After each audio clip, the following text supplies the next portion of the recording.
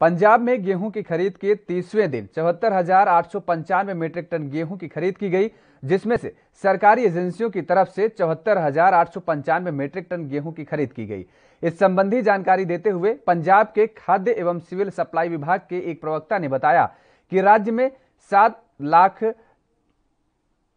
चौहत्तर हज़ार आठ सौ पंचानवे मेट्रिक टन गेहूँ का खरीद सरकारी एजेंसियों के द्वारा की गई है, जिसमें केंद्र सरकार की एजेंसी एफसीआई की तरफ़ से आठ हज़ार छह सौ सतासी मेट्रिक टन गेहूँ खरीदी जा चुकी है। इसके अलावा पनग्रेन की तरफ़ से पंजाब में सार्वजनिक वितरण के लिए तीन हज़ार सात सौ इक्यासी दशमलव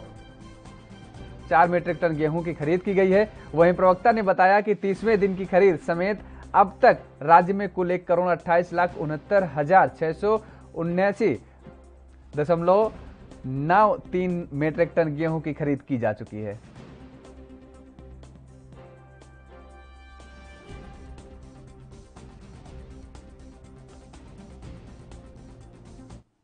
देश दुनिया की खबरों के लिए एएनबी न्यूज़ को सब्सक्राइब करें और बेल आइकन दबाएँ।